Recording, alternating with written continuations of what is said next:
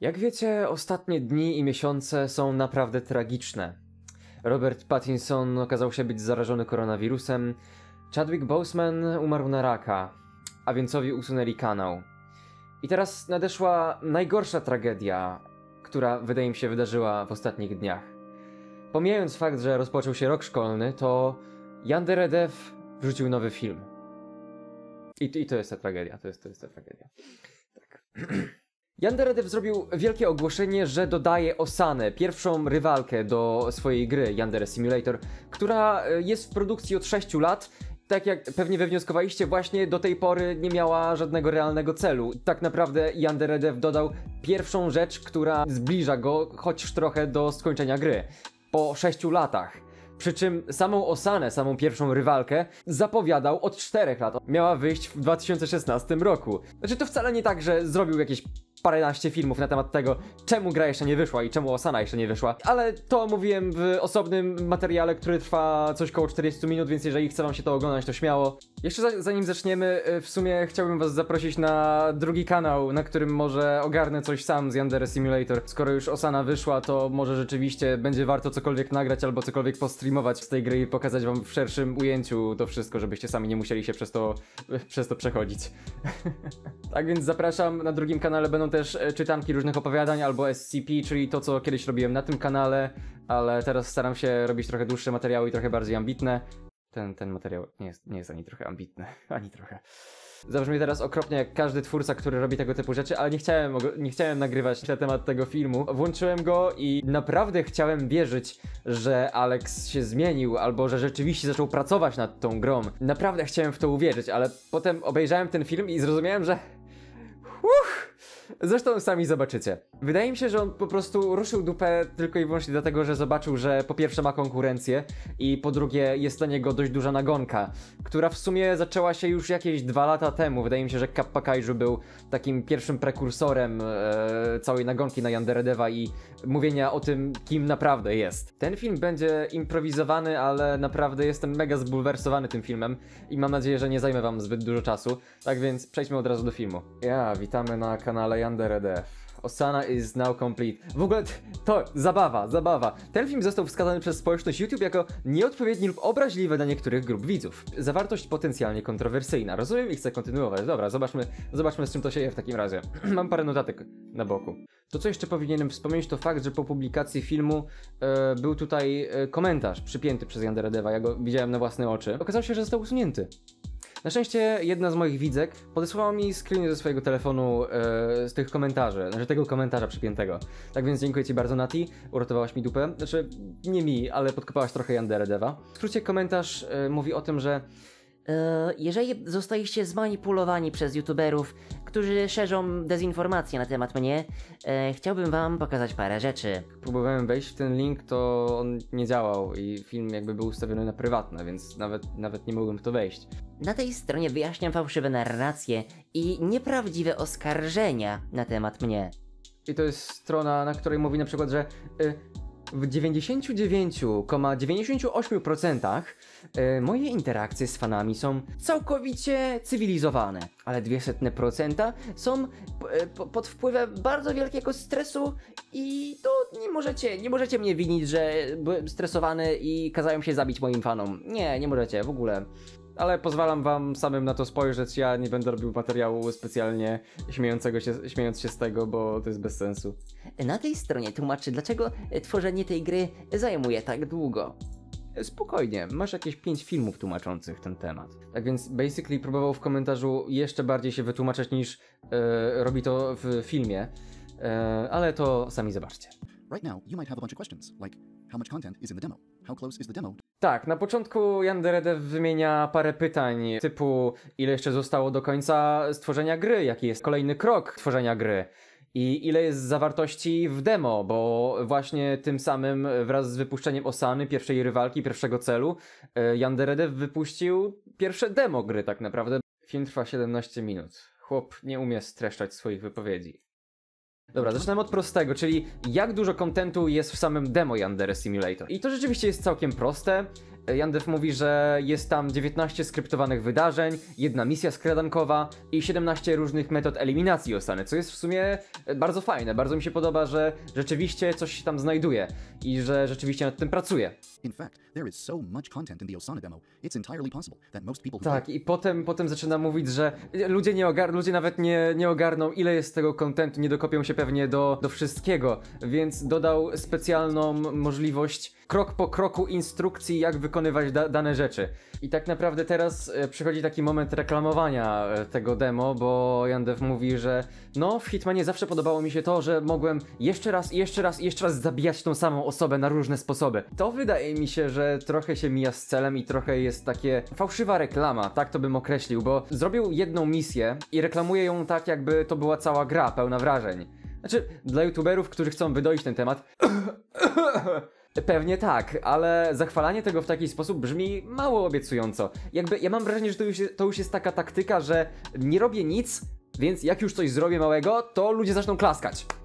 Znaczy widzę, że e, w ocenach jest gro osób, które rzeczywiście ogarniają backstory i ogarniają, że e, ten film tak naprawdę ma drugie dno. I to drugie dno śmierdzi. Naprawdę bardzo śmierdzi. Dobra, dobra, dobra. Jak blisko demo jest do skończonej gry? I uwaga, uwaga, ta odpowiedź was zaszokuje. To the final game. This one is actually a bit complicated. Ja e, nie chciałem oglądać na początku tego filmu, bo myślałem, że okej, to jest po prostu zwykły update, Osanę dodałem i tyle, bawcie się.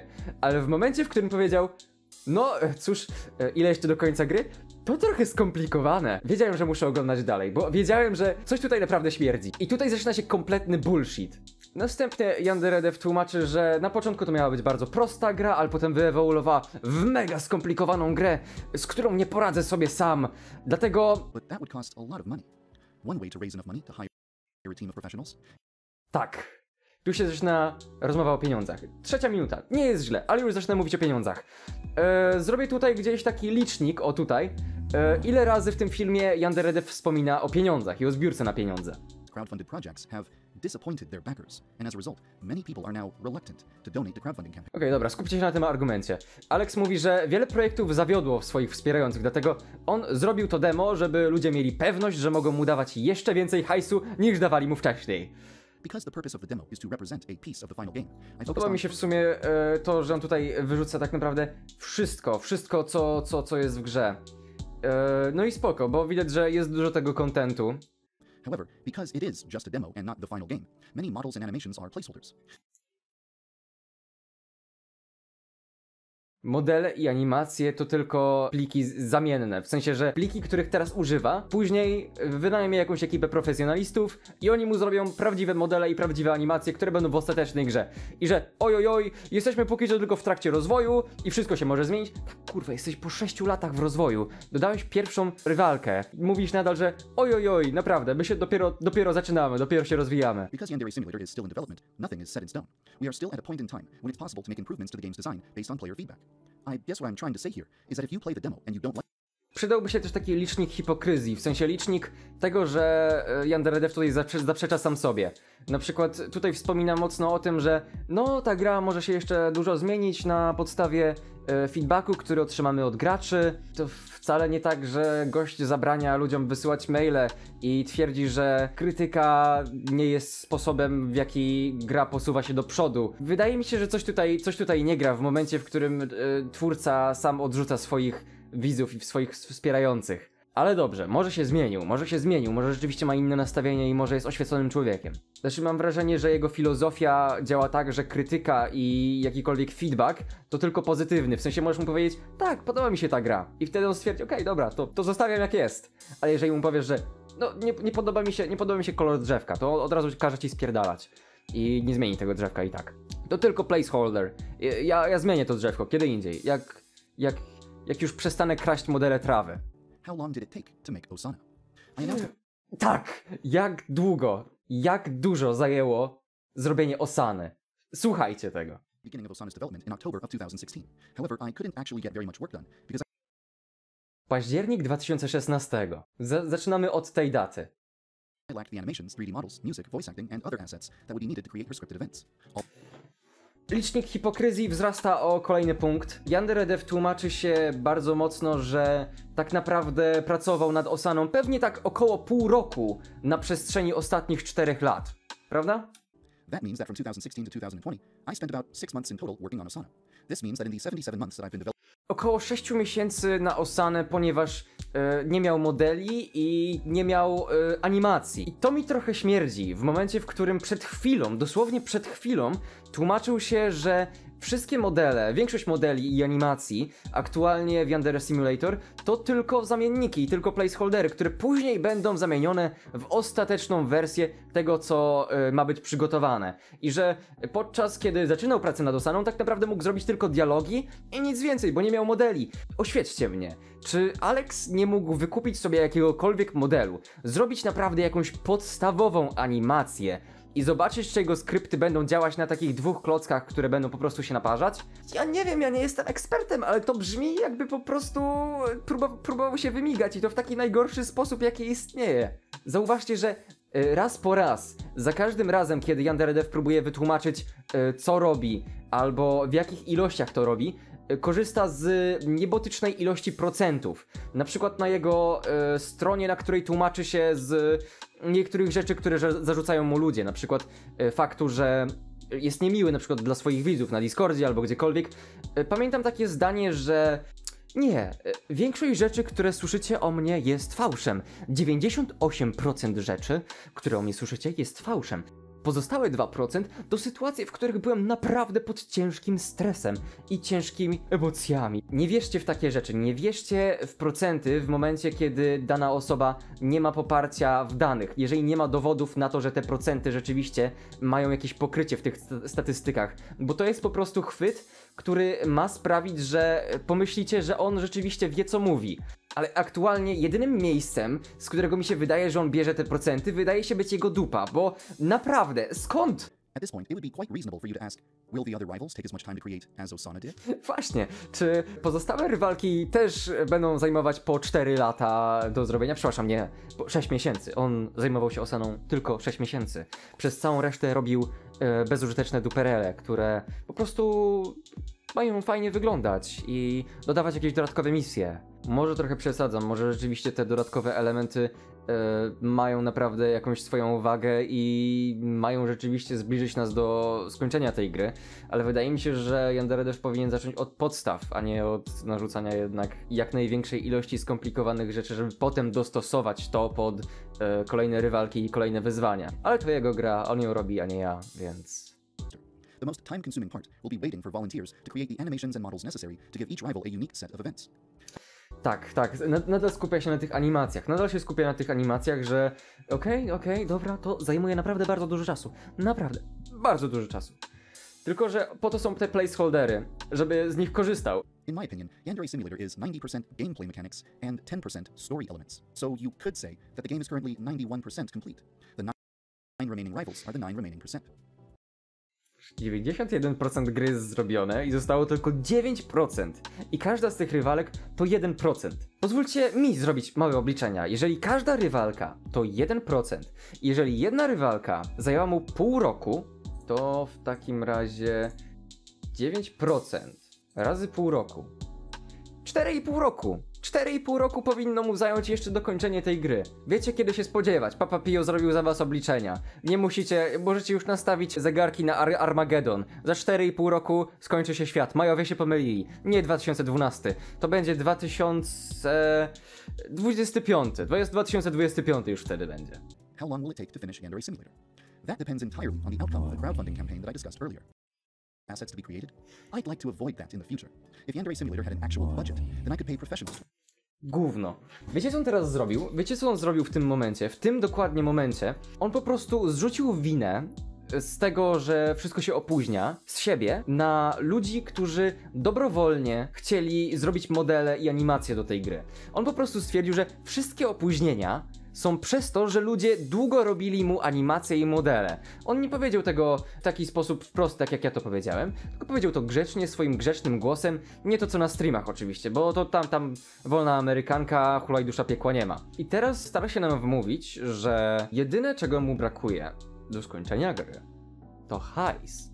Ponieważ dzięki pieniądzom może zapłacić ludziom, profesjonalistom, którzy zrobią mu modele w tyle dni, ile on potrzebuje. Zrobią mu animację w tyle dni, ile on potrzebuje. I wszystko będzie gotowe, wszystko będzie na miejscu. Kodowanie wcale nie zajmie mu kolejnych 4 lat. Nawet jeśli Dobra, przyjmijmy, że tak jest. Przyjmijmy, że to wszystko wina ludzi, którzy dobrowolnie chcieli mu pomóc i za darmo robili wszystko dla niego. I teraz zrzuca to całe gówno na nich. Okej, przyjmijmy, nawet jeśli. To gdzie podziały się tam te 4000 dolarów miesięcznie, które dostawał na Patreonie w 2018 na przykład. Z tego co mi się wydaje i z tego co pamiętam, to jednak płacił swoim wolontariuszom, którzy nie do końca robili niektóre rzeczy za darmo i czasem po prostu im płacił, żeby dokończyli swoją robotę. Jak dużo hajsu potrzebuje Yanderedev, żeby dokończyć tę grę? Bo to już nie jest pytanie, kiedy on dokończy, tylko ile hajsu potrzebuje, co, co go zadowoli. Problem jest tego typu, że póki co wydaje mi się i wygląda na to,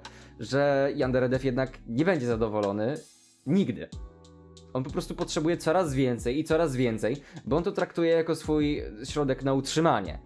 I kiedy już zdecyduje, że okej, okay, znudziło mi się, możemy wypuścić grę, to będzie liczył na to, że wszyscy będą ją kupować, żeby zrobić jeszcze więcej hajsu. Tylko, że to będzie dla niego ryzykowne.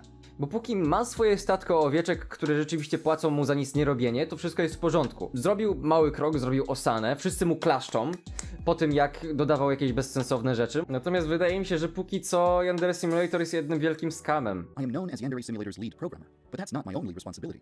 There are many other obligations that I have to attend to on a daily basis. Przepraszam, czy my znowu wchodzimy w procenty? Proszę nie. Ile to jest procent? Yanderelef, powiedz mi ile to jest procent raz, dwa, trzy. 10% czasu na pisanie kodu.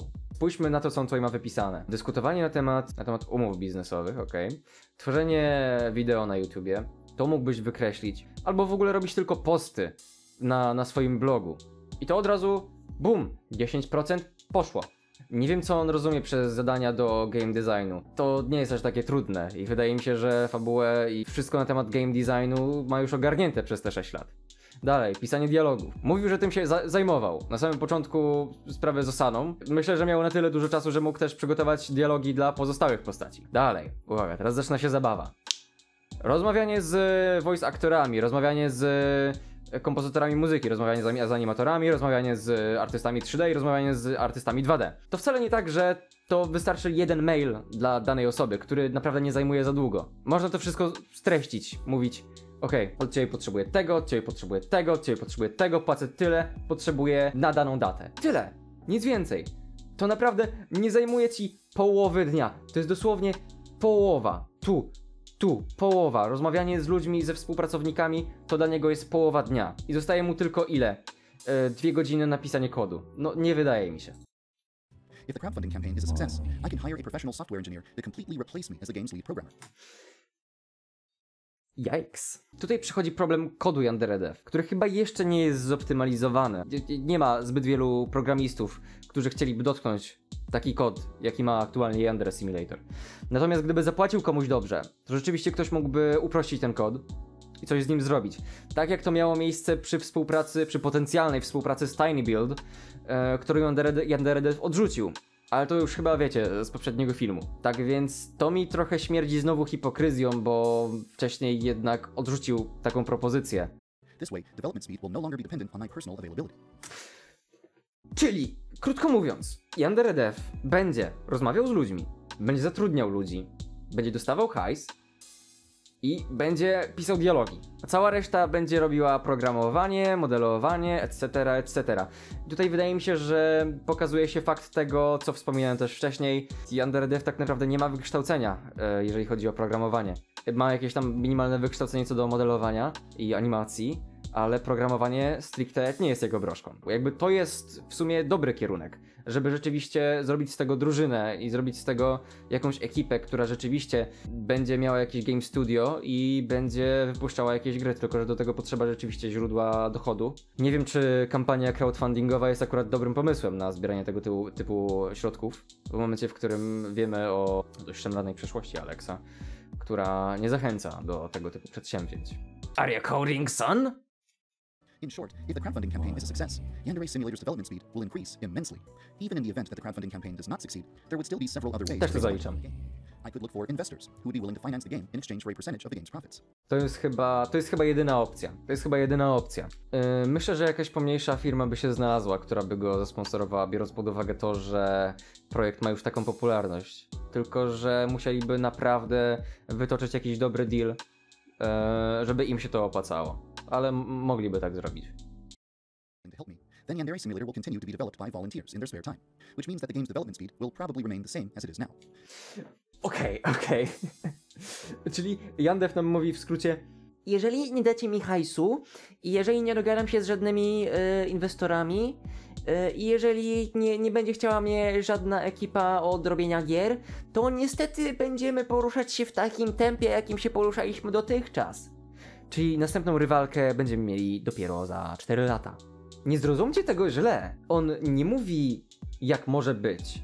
To jest groźba i to jest sugestia. To jest sugestia, że jeżeli mi nie zapłacicie, to będzie się to poruszało w ślimaczym tempie. Bo wydaje mi się, że on na siłę nie będzie szukał żadnych inwestorów, nie będzie szukał żadnej firmy zajmującej się grami, nie? I wtedy ma po prostu pretekst do tego, żeby poruszać się powoli do przodu, zbierać jednocześnie hajs od ludzi z Patreona, robić streamy i tak naprawdę żyć tak jak dotychczas, bo może po prostu mu się to podoba.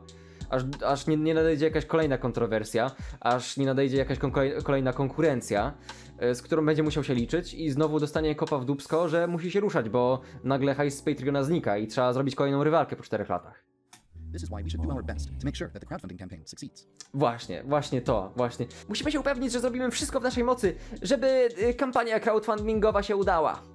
Szekle, szekle, szekle, szekle, szekle, szekle, szekle. What is the next step in Yandere Simulator's development? Właśnie, jaki jest następny krok? Video talking about how important the crowdfunding campaign will be, but that doesn't mean I want to jump straight into it as soon as possible. I on teraz będzie naprawiał to demo ze wszystkich bugów, jakie są.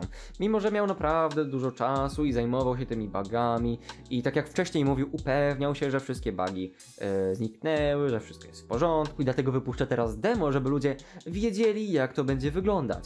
Ale następny krok, naprawienie bugów w grze i upewnienie się, że demo jest w 100% idealne. Alex, przykro mi to mówić, ale nic nigdy nie będzie w 100% idealne.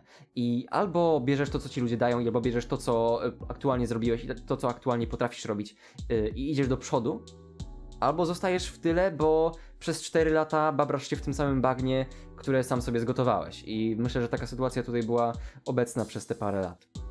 Natomiast idziemy do przodu, prawda? Idziemy do przodu. I want to make an in-depth video about the history of Yandere Simulator's development to clear up some common misconceptions about the game. Czyli będzie roztaczał kontrowersje, tak? Tak jak tym komentarzem. Okej, to dobrze. E, przydałby się film, który e, odpowiada w sumie na wszystkie zarzuty, które Alex dostaje. Mm, problem w tym, że to chyba nie wyjdzie. Wiecie czemu? Myślę, że Alex nie ma już za bardzo pola do obrony w momencie, w którym zawsze, jeżeli jakakolwiek kontrowersja się działa, to zawsze odpowiadał na swoim blogu, zawsze tłumaczył jego perspektywę, która, tak jak mówiłem, na przykład w sytuacji z Sisevs była dość e, niejednoznaczna, bo raz mówił jedno, raz mówił drugie. Ostatecznie wychodzi na to, że jednak nie jest taką, taką piękną osobą, e, za jaką się uważa i jednak ma swoje za uszami i trochę nam kłamie w żywe oczy, jak chuj. Głupi. Więc to, że zrobi film, w którym mówi po prostu hej, jestem dobrym chłopem, dobry chłopak, mało, mało pił, to nie, nie znaczy, nie znaczy, że tak jest. Bo ja też sceptycznie mocno podchodziłem do sytuacji Underdeva. Była taka sytuacja z youtuberem, który się nazywał Slazo. Był oskarżany przez swoją byłą dziewczynę i przez jakąś ekipę YouTube'ową o to, że jakby nie był dobrym chłopakiem i to mocno podchodziło nie tyle co pod pedofilię, może to chyba trochę pedofilię, E, ale oskarżali go o różne szemrane rzeczy, które robił w związku. E, Nie dali mu oczywiście czasu na odpowiedź i po prostu zarzu- zarzucali go kolejnymi atakami. I w momencie, w którym Slazo się wypowiedział, w którym doszedł do prawdy i jakby pokazał prawdziwe screeny tego, co się działo, e, pokazał prawdziwe informacje na temat osoby, która oryginalnie go obrzucała głównym, okazało się, że tak naprawdę większość rzeczy, o którą go oskarżali, były nieprawdziwe. Miał po prostu na to dowody. Gdyby Alex rzeczywiście e, również miał dowody na to, że to, o co go oskarżają, e, jest po prostu fałszywe, nie byłoby z tym problemu, żadnego. Tylko w momencie, w którym Alex za każdym razem próbował się wywinąć i próbował się wytłumaczyć, próbował zatuszować ślady. To jest jedyny sposób, w jaki ja to mogę określić. Choćby ta sytuacja z kupowaniem sekslalki, z jego e-mailem podpiętym do konta, albo z Cisefs, w którym rzeczywiście motał się z jej wiekiem i tłumaczył, że to jakby jej wina, że do czegokolwiek doszło. Nadal staram się mieć e, dystans do, do tej sytuacji. Aktualnie nie ma argumentów, które stawiają Alexa w świetle innym niż to, co wcześniej pokazałem w wcześniejszym materiale. The demo does not allow you to access debug commands or Easter eggs until you've eliminated Osana at least once. Przykro mi, fani Undertale, nie możecie grać Sansem, dopóki nie zabijecie bezbronnej dziewczynki. Ja, ja wiem, mi też jest przykro. The demo has a new title screen. If you play the game as a pacifist, Yandere-chan will look innocent at the title screen. But if you kill anyone, then Yandere-chan's appearance will change. A, czyli pierdoły, po prostu Yandere dodaje do gry pierdoły i to, to, to, to, to, to, to zawsze. and I hope it makes you feel optimistic about the game's future. Thank you for your patience and understanding during this turbulent time. And thank you for following the development of Yandere Simulator. I w taki oto sposób Yandere Dev kończy ten film. I wydaje mi się, że to jest taka kanapka, że na początku e, jest taki system kanapki komplementowej, że na początku komplement, potem krytyka i potem kończymy jeszcze czymś miłym, żeby osoba jakby dostała ten komplement, zjadła go, ale żeby był miło zapakowany. I myślę, że to jest takie, hej, zrobiłem osanę. Jest bardzo dużo rzeczy, które są w tym demo. Dajcie mi hajs. Dzięki, że obserwujecie y, Yandere Simulator. Tak więc jak dla mnie y, to jest jeden wielki bullshit i naprawdę chciałem się przekonać, że może Alex się trochę zmienił, ale z tego co widzę to niestety nadal siedzi w tym samym i nadal żebrze więcej hajsu. Co nie jest złe samo w sobie, jeżeli rzeczywiście tego potrzebuje, ale na chwilę obecną wydaje mi się, że powinien dać sobie radę no, z tym co ma. Wielokrotnie w tym filmie sam sobie zaprzecza. Mówi, że większość animacji i modeli to aktualnie placeholdery, które później zmieni. Nie mógł robić osany przez te parę lat, ponieważ właśnie nie miał modeli. Mimo, że mógł wziąć kompletnie jakiś losowy model. Nie wypuszczać tego dema dla ludzi, ale mieć je dla siebie i potem po prostu podmienić modele. No to po prostu wydaje mi się, to jest aktualnie jeden wielki żart. Tak więc ja nie mam chyba aktualnie nic więcej do dodania. Mam nadzieję, że oszczędziłem wam bólu oglądania tego w pełnej prędkości i mogliście to obejrzeć ze mną dwa razy szybciej i posłuchać mojego starszego pierdolenia o tym, co sądzę o Yandere Simulator. Tak więc to by było na tyle. Jeszcze raz przypominam o tym, że możecie zasubskrybować drugi kanał, na którym na pewno spróbuję zrobić coś z gameplayem z tej gry, e, bo tam stan, będę starał się wrzu- wrzucać luźne rzeczy albo takie mniej wymagające starań. Mam nadzieję, że zobaczymy się tam, mam nadzieję, że zobaczymy się w następnym materiale. Oczywiście, jeżeli jeszcze nie zasubskrybowałeś, oczywiście, jeżeli jeszcze nie zasubskrybowałeś, to zdecydowanie powinieneś, bo zamierzam e, wkładać o wiele więcej pracy w aktualne filmy na tym kanale, kanale Ty i o i tak. Tak więc ja jestem Pio. To był film, w którym Yanderedev tłumaczy, że dodał Osanę do gry. Do zobaczenia kiedyś.